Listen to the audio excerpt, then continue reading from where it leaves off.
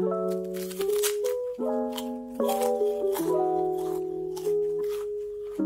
semuanya, kembali lagi dengan kami di sini podcast Kerupuk. Kerennyes. Nah, kali ini eh, gue Gabriel akan menggantikan host kita yang sebenarnya yaitu Andi karena saat ini dia sedang berhalangan. Betul sekali. Jadi nanti dia yang bakal ngedit video ini. Bener kan? Benar. Nah, mungkin silakan perkenalkan diri deh. Oke, di sini ada gua, Dava, dan ini rekan gua yang menggantikan Andi. Namanya Gabriel. Oke. Oke. Jadi Jadi gini guys, ya? jadi pertama-tama kita akan membahas mengenai tumpang tindih kewenangan penyidikan dalam tindak pidana korupsi oleh jaksa dan penyidik. Jadi langsung aja ya. oke. Jika kita lihat dari UU Tipikor dan tertulis bahwa yang berwenang untuk melakukan penyidikan itu adalah polisi dan jaksa. Jaksa itu berperan sebagai penyidik dalam kasus-kasus korupsi. Nah, gimana sih tugas dari jaksa itu sendiri dalam melakukan penyidikan? Oke, jadi gini, kalau misalnya jaksa ngelakuin penyidikan pasti lebih efektif karena jaksa punya pelatihan buat bersidang nanti. Jadi jaksa tahu hal-hal apa saja yang dibutuhkan dalam persidangan yang bisa membuktikan perbuatan terdakwa. Misalnya, dalam hal korupsi pembangunan jalan, jaksa bisa lihat dulu berapa tahun jalan itu terbangun, terus rancangan anggaran dari pembuatan jalan tersebut. Kadang, anggaran yang di atas 200 juta itu, tendernya ditunjuk langsung dari penyelenggaranya. Dari situ bisa dilihat besar kerugian negaranya itu seperti apa. Hmm, oke oke, menarik nih. Nah, tapi eh, menurut nih ya, pertama-tama lu bisa menjelaskan nggak sih penyidik itu di kejaksaan itu penyidik di kejaksaan dan kepolisian itu ada perbedaannya atau gimana gitu nggak? Oke, jadi perbedaan penyidik dari kejaksaan dan dan dari kepolisian itu bedanya kalau misalnya jaksa penyidik sebagai jaksa yang menjalankan kewenangan yang tertuang dalam pasal 30 ayat 1 Undang-Undang Kejaksaan, yakni melakukan penyidikan terhadap tindak pidana tertentu berdasarkan undang-undang.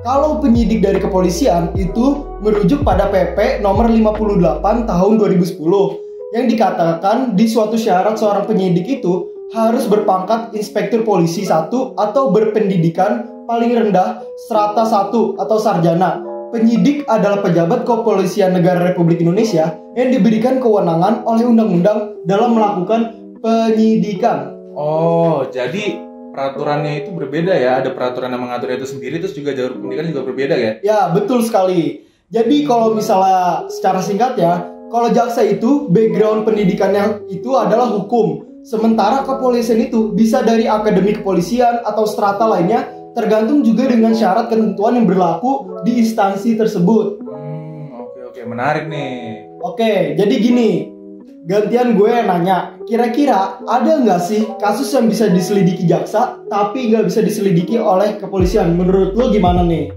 Wah, itu ada nih. Nah, jadi dalam ada suatu proses yang disebut proses pengajuan perkara Hmm. yang mana itu adanya SPDP atau surat perintah dimulainya penyidikan.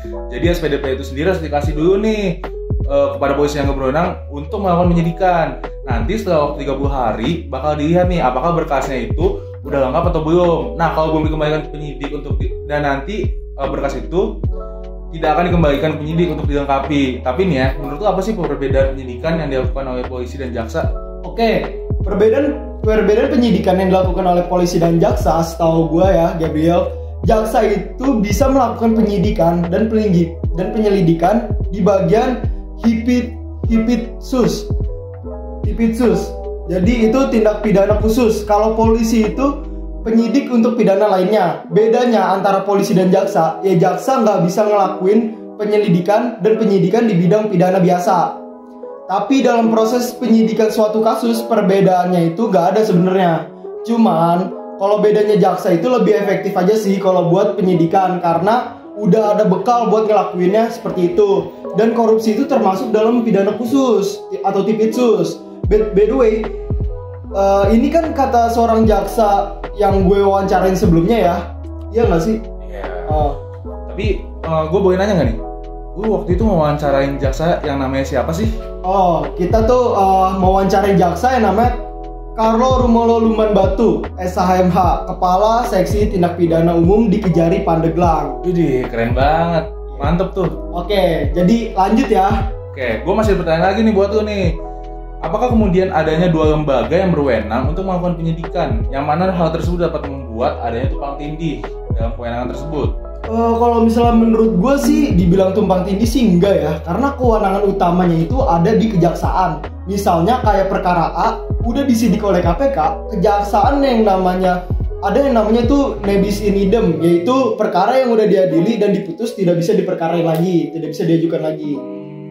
Jadi nanti tuh jaksa sama polisi tuh bakal ada koordinasinya nggak sih? ya iya dong. Karena kan kejaksaan juga berkontribusi eh, sama lembaga lainnya untuk membantu penyidikan sebuah perkara bukan hanya kepolisian tapi juga KPK dan lembaga dan lembaga-lembaga lain yang berkaitan dengan kasus tersebut guna membantu penyelesaian kasus. Oh, jadi udah terjawab nih ya judul topik kita itu sendiri yaitu tentang tumpang tindih kewenangan penyidikan dalam tindak pidana korupsi oleh jaksa dan penyidik. Oke, sebenarnya sih tidak tumpang tindih ya kalau misalnya kepolisian itu menyelidiki tentang perkara pidana biasa sementara itu jaksa tentang pidana khusus. Perbedaan di situ. Oke, oke, tapi bentar, bentar, bentar. Sebenarnya apa sih yang dimaksud dengan pidana khusus dan pidana biasa? Oke, eh, yang dimaksud dengan pidana khusus dan pidana biasa, kalau misalnya pidana khusus itu adalah tindak pidana yang diatur di luar Kitab Undang-Undang Hukum Pidana atau KUHP dan memiliki kewenangan khusus tentang acara pidana. Sementara pidana umum itu perbedaannya, ketentuannya itu sudah diatur di dalam KUHP. Itu. Berarti korupsi Iya. itu masuk pidana khusus. Betul sekali. Dan selain tindak pidana korupsi, yang termasuk dalam tindak pidana khusus di antaranya ada juga tindak pidana pencucian uang, narkotika, psikotropika, dan pidana kependudukan, pidana pangan, pidana perikanan dan kelautan, pidana transportasi dan penerbangan, tindak pidana telekomunikasi, dan tindak pidana pendidikan. Oh, demi apa sih? Kok gue baru tahu dah. Keren dah. Ya, banyak ya jadinya. Oke, back to the topic. Uh, dalam melakukan penyidikan, kejaksaan bisa bekerja sama dengan lembaga lain untuk mempermudah penyidikan perkara tersebut. Oh, berarti kalau dalam kasus korupsi itu KPK ya? Ya, betul KPK. Nih, jadi seru kan? Tadi kan kita uh, tadi kan lu yang nanya nih, gue yang jawab. Sekarang uh, lu bikin rangkuman coba dari apa yang kita bahas kira-kira udah menjawab belum dari topik kita tadi? Oke, kita kan tadi bahas tentang korupsi ya guys. Jadi eh, korupsi itu masuk ke dalam tindak pidana khusus karena peraturan itu sendiri di luar dari eh, KUHP itu sendiri dan juga eh, adanya kewenangan dari kejaksaan dalam hal ini yang mana penyelesaian bisa dibantu oleh KPK itu sendiri. Yang mana dari karena itu juga bukan merupakan suatu tumpang tindih kewenangan penyidikan dan menurut gua sendiri sih pembahasan kita dari atas dari awal sampai akhir ini pun udah cover semua topik kita. Oke, jadi udah terjawab semuanya dong tentang topik kita ini tentang lembaga kewenangan lembaga kejaksaan.